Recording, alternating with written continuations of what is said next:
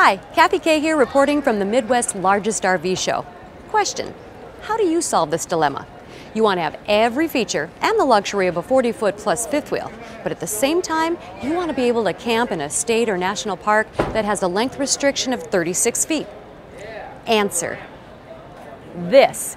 It's the Alpine 3100 RE, and it's the shortest, lightest Alpine ever. It's only 34 feet 10 inches in length and weighs in at 11,500 pounds. And it gets better. It's also a wide body, and because of that, it's very easy to tow. But I have to tell you, if you ask me, it is one of the nicest looking fifth wheels at the show. The color palette of the Alpine is so well done. Love the warm exterior, walls trimmed out with black accent lines, frameless windows, and nicely coordinated graphics package. Even though this is the smallest of the Alpine line, it still has all the features of the larger next generation Alpine fifth wheel, like huge amounts of storage in the pass-through and the incredibly simple one-touch auto memory hydraulic leveling system. Push the button and it levels itself. And now that the Alpine is a wide body, there's even more of a good thing. And like I said, you don't have to give up any beauty, luxury, or features by going short. These beautiful Corian countertops, well, they provide lots of counter space for food preparation. And some of that food might have come from this four-door, 12.8 cubic foot refrigerator.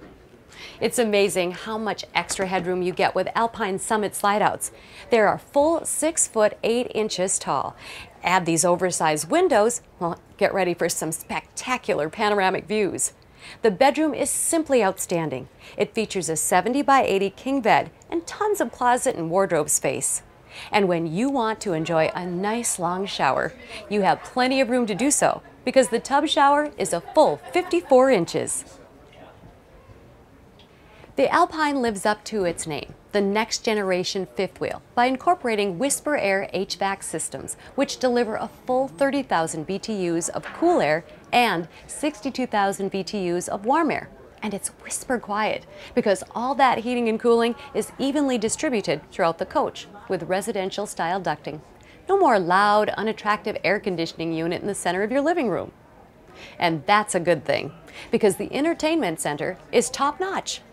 It includes both Bose and Samsung components and is fully Bluetooth compatible.